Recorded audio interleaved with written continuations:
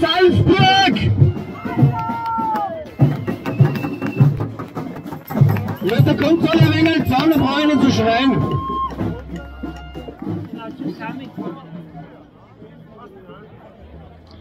So, Punkt 1. Wir müssen leider darauf hinweisen, dass bei der Veranstaltung eine FFP2-Maske herrscht. Müssen wir leider durchsagen. Wer ein, äh, wer Maskenbefreiung hat, der kann sich da drüben bei der Polizei eine Bestätigung holen, dann habt ihr bei den Kontrollen keine Probleme, falls welche sein sollten. Dann darf ich die Kerstin entschuldigen, die Kerstin ist leider krank. Sie hat aber nicht Corona. Und der Frank ist auch nicht da, wie Sie festgestellt habt, der ist halt mit seinen Kindern unterwegs, der nimmt sich halt die Auszeit mit seinen Kindern. Sei ihm gegönnt. Ich habe ein bisschen einen Text zusammengeschrieben, weil ich mir dachte, irgendwas müssen wir sagen nach dem Donnerstag. Und ich werde euch den kurz vorlesen. Ich habe lange überlegt, was ich euch sagen werde oder könnte. Seit Donnerstag, den 20.01.22 hat unser wunderschönes und geliebtes Österreich ein neues Kapitel dunkler Geschichte mehr. Wir wurden alle Zeugen von einem rabenschwarzen Tag. Wäre dieses Impfpflichtgesetz, diese 2G-Regeln und das Ausstatten von Ungeimpften nicht so absurd, völlig überzogen und hirnlos, dann könnte man sich freuen, in unserem Land zu leben. Ich muss euch ehrlich gestehen, ich habe mit dem Gedanken gespielt, Österreich zu verlassen und unserer Heimat den Rücken zuzukehren. Aber ich habe diesen Gedanken sofort wieder abgelegt und mich für den Kampf gegen diese korrupte Regierung, gegen dieses korrupte System entschieden und werde mich diesem auch stellen.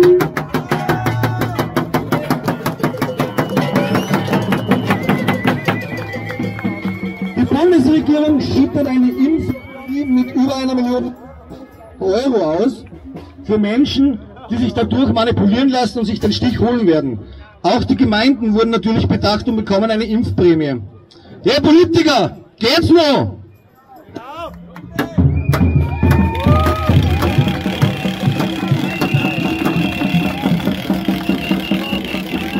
Dieses Geld wäre viel besser und wichtiger, wenn es für das Pflegepersonal, Bildungseinrichtungen und Kinderbetreuung investiert werden würde. In vielen Teilen Europas werden in den nächsten Tagen und Wochen die Maßnahmen zurückgefahren oder sogar beendet. Nur bei uns nicht. Warum? Sagt uns warum! Liebe Abgeordneten der Bundesregierung, liebe Landesregierungen, ihr habt einen Krieg angefangen, den ihr nie gewinnen könnt und auch nicht gewinnen werdet. Ihr bekommt alle irgendwann eure gerechte Strafe für euer unüberlegtes Handeln, da bin ich mir sicher. Ich habe es satt, mir von euch, die ihr von uns bezahlt werdet, sagen lassen zu müssen, was wir dürfen und was nicht. Salzburg, ich bin so stolz mit euch und an eurer Seite diesen Kampf auszutragen. Bleibt standhaft und lasst euch nicht einschüchtern von irgendwelchen korrupten, nicht gewählten und völlig vertrottelten Politikern und ihren hirnverbrannten Gesetzen. Bleibt euch selbst treu, bleibt eurer Linie treu. Danke.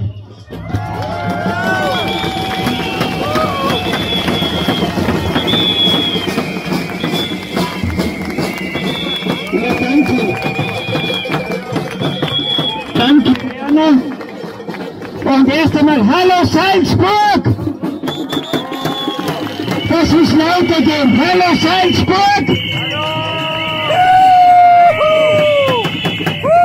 Danke, dass ihr alle heute wieder hier seid und nicht wie gewisse Politiker in diesem Lande behaupten, es werden dann nur mehr circa 500 Rechtsradikale durch Österreichs Straßen spazieren.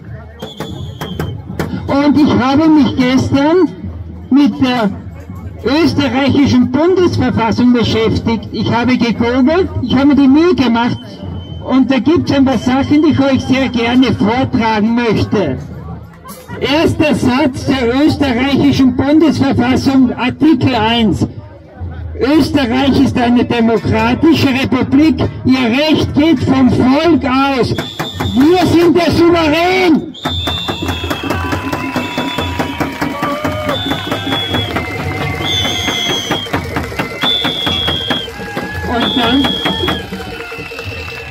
Dann heißt es weiter, die Würde eines Menschen ist unantastbar. Das heißt, die Würde darf auf keinen Fall verletzt werden. Alle Menschen sind gleich wertvoll. Das ist der Originaltext der österreichischen Bundesverfassung. Aber wie wir wissen, gibt es leider Menschen in diesem Lande, die, die anscheinend mehr wertvoll sind. Die einkaufen gehen dürfen, die ins Restaurant gehen dürfen und du als Ungeimpfter darfst es nicht machen. Und das ist ein Verstoß gegen den Gleichheitsgrundsatz.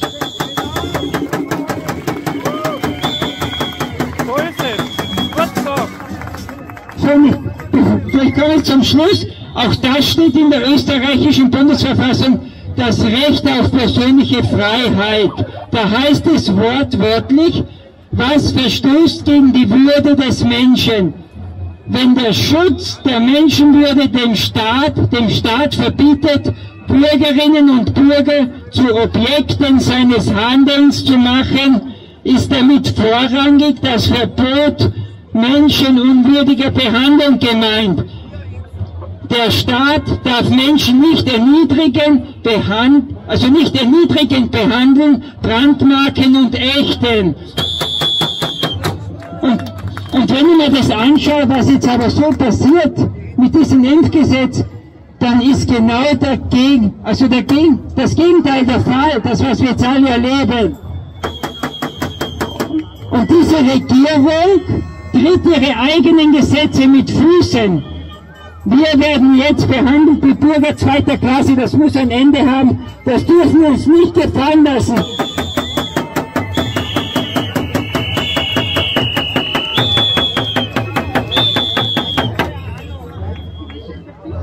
Darum gehen wir alle auf die Straße jetzt, friedlich, aber laut. Danke Salzburg.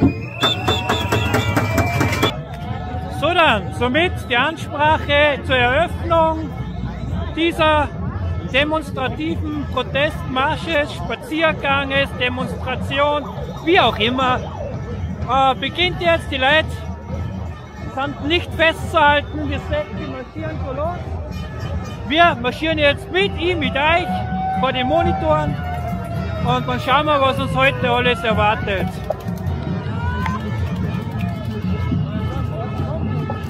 Hi.